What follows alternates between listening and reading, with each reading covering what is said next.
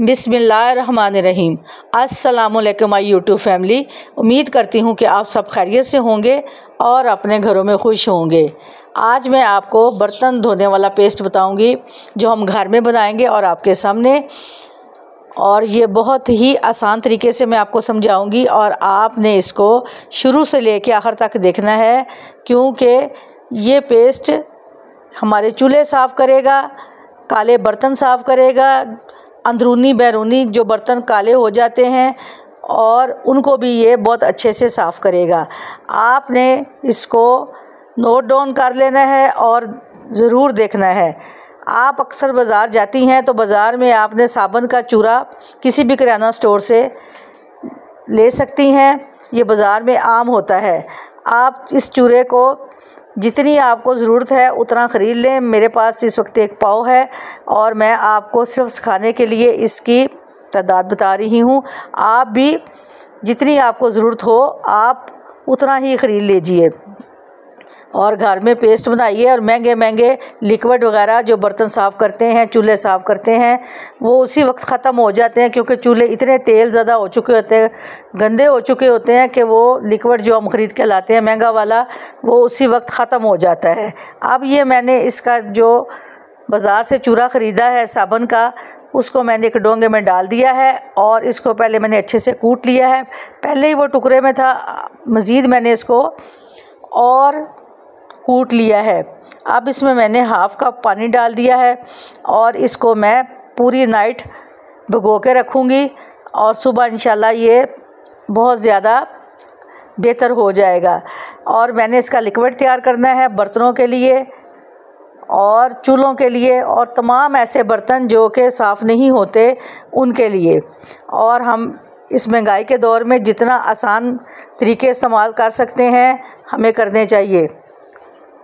अब आप इसको गौर से देखिएगा और फिर आपने इसी तरीके से इसको इस्तेमाल करना है। ये देखें मैंने, इसे ओवरनाइट भगोने के लिए रख दिया और फिर मैं इसको मिक्स करती जाऊँगी। ताकि जितना इसको मिक्स करेंगे, ये हमारा लिक्विड उतना ही शानदार बनेगा और हमें बड़ी आसानी हो जाएगी इससे।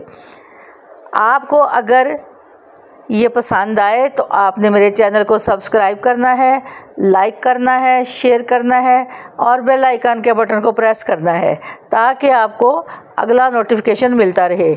ये देखें, अब मैंने जो ओवरनाइट इसको भगो के रखा था उसको फिर मैं दोबारा से चम्मच के साथ या कांटे के साथ इसको अच्छे से मिक्स करूँगी ताकि इसमें कोई गुटली या लम्स ना रह जाए, ये बिल्कुल लिक्विड बन जाए। और फिर जब हम इसे फोम के साथ या जाली के साथ निकालेंगे, एक तो ये कम मकदार में लगेगा और इसकी झाग बहुत ज़्यादा होगी और इससे जो लिक्विड जल्दी ख़त्म हो जाता है, वैसे नहीं होगा। हम अपना थोड़ी सी मकदार में निकालेंगे इसको और इसकी झाग बहुत शानदार होगी और चीज़ों को साफ़ करेगी। ये देखिए, अब मैं चम्मच के साथ इसको अच्छे से मिक्स करती जा रही हूँ। इसमें अभी मैंने दो चीज़ें और डाल दी हैं, वो भी बड़ी पावरफुल हैं। वो इसको मज़ीद मज़बूत करेंगी और हमारी चीज़ों को साफ़ करेंगी। वो माएँ बहनें, जो सारा दिन चूल्हे, बर्तन, देगजियाँ साफ़ करती हैं, लेकिन फिर भी रिज़ल्ट अच्छा नहीं आता। इसको आहिस्ता आहिस्ता आप यूज़ करती जाएँगी, बर्तन भी आपके आहिस्ता आहिस्ता साफ़ होते जाएँगे और बहुत बेहतरीन तरीके से साफ़ होंगे। अब मैं आपको बताऊँगी कि इसमें मुझे और क्या डालना है। अगला स्टेप ये है कि बाज़ार से काला तेल मिलता है बर्तन साफ़ करने वाला। वो भी ले आए और उसको आपने तकरीबन इस पेस्ट में भर के दो टेबल स्पून डाल दीजिए। और इसको भी हमने इसी में शामिल करना है और अच्छे से इसको मिक्स करना है।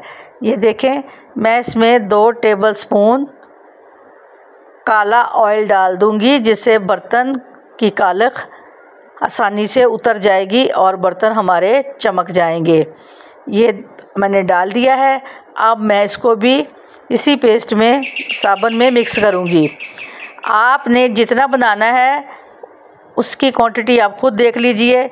अब जैसे जैसे मैं इसको पेस्ट को मिक्स करती जा रही हूँ, वैसे वैसे ये डबल होता जा रहा है और फूलता जा रहा है। आप देखेंगे कि ये आपके तकरीबन इसमें दो डबियाँ प्लास्टिक की भर जाएँगी और हमारे लिए ये काम बहुत आसान हो जाएगा। अगर आप ज़्यादा बनाते हो तो ज़्यादा बन जाएँगी और आप तकरीबन एक महीने के लिए भी इसको ढक्कन दे के बंद करके एयर टाइट में तो फिर इसको इस्तेमाल कर सकते हैं। अब मैं आपको ये मिक्स करके दिखा रही हूँ और ये देखें कितना ज़बरदस्त फूलता जा रहा है। अब इसमें मुझे कोई गुटली या कोई लम्स नहीं नज़र आ रहा। तकरीबन मेरे हिसाब से ये ठीक होता जा रहा है। अब मैं इसमें एक चीज़ और डालूँगी। ये मेरे पास धोबी सोडा या कास्टिक सोडा कह लीजिए। इससे आपको पता है, पुराने वक्तों में लोग कपड़े धोते थे, जो बहुत ही कपड़े वाइट कलर के गंदे हो जाते थे। तो पुरानी औरतें इस कास्टिक सोडे को इस्तेमाल करती थी। ये बर्तनों के लिए भी बहुत बेहतरीन है। इसमें मैं तकरीबन हाफ़ कप ये धोबी सोडा डाल दूँगी और इसको भी मैं मिक्स कर दूँगी। इसके डालने से ये लिक्विड बहुत ही मज़बूत हो जाएगा और पावरफुल हो जाएगा। और हमारे जो ज़रूरत है बर्तनों को सफ़ाई करने की, चूल्हों की सफ़ाई करने की तो ये बहुत आसानी से हमें इसका अच्छा रिज़ल्ट देगा। अब मैं इसको डाल रही हूँ और आपको साथ साथ बताती भी जा रही हूँ आप देख रहे होंगे कि ये कितनी आसानी से, अच्छे से अच्छा कितना मुलायम और कितना शानदार लिक्विड घर में ही तैयार हो चुका है। और इसमें कोई इतनी लागत भी नहीं आई कि ख़र्चा बच गया और पैसे सेफ़ हो गए। ये बाज़ार से मैंने आपको बताया टुकड़े साबुन के मिल जाते हैं तो आपने भी इसी तरह से ख़रीद लेने हैं और थोड़े से पैसे में आपकी बेहतरीन लिक्विड पेस्ट तैयार हो चुकी है। अब मैं इसको फिर दोबारा से अच्छे से मिक्स करती जाऊँगी ताकि ये फलफी सा हो जाए। अगर आपको झाग इसमें ज़्यादा ज़रूरत है तो आप शैम्पू भी डाल सकती हैं। दो चम्मच शैम्पू के डालें मज़ीद झाग हो जाएगी। अगर इसी में आप बेहतर समझती हैं कि झाग अच्छी है तो आप इसी को यूज़ कीजिए। और ये तमाम चीज़ें घर से ही मिल गई हैं। और ये देखें मेरे पास दो प्लास्टिक की कटोरियाँ जो घर में फालतू पड़ी थी, उसमें मैं ये चीज़ें डाल दूँगी और मेरे इस्तेमाल के लिए काफ़ी है। और मैं इनसे बर्तन साफ़ करती हूँ और बर्तन बड़े चमकदार, साफ़ सुथरे हो जाते हैं। वैसे तो हम लिक्विड यूज़ करते हैं, हर तरह का साबुन इस्तेमाल करते हैं, बर्तनों पर इतनी रौनक नहीं आती। अब मैं इसको अच्छे से जो मैंने प्लास्टिक की डिबिया निकाली है, उसमें डाल के मैं आपको दिखा रही हूँ सेट करके, और आपने भी इसको इसी तरीके से सेट करना अगर किसी वक्त ये सख्त हो जाए तो आप इसमें थोड़ा सा पानी मिला के दोबारा इसको मिक्स कर लीजिए। ये बहुत शानदार तरीके से मिक्स हो जाएगा, और आपके इस्तेमाल में बहुत ही आसान कर देगा। और आप मुझे दुआओं में याद रखिएगा, जब आप इसको इस्तेमाल करें, आपके बर्तन, चूल्हे साफ़ सुथरे हो जाएँ तो मुझे कमेंट ज़रूर कीजिएगा और दुआओं में भी याद रखिएगा। इन ये बहुत कारआमद चीज़ है, मैं आपको बताती हूँ कि जो चीज़ मैं खुद इस्तेमाल करती हूँ, फिर मैं आप लोगों को बताती हूँ कि हंड्रेड परसेंट वो चीज़ बेहतर होती है।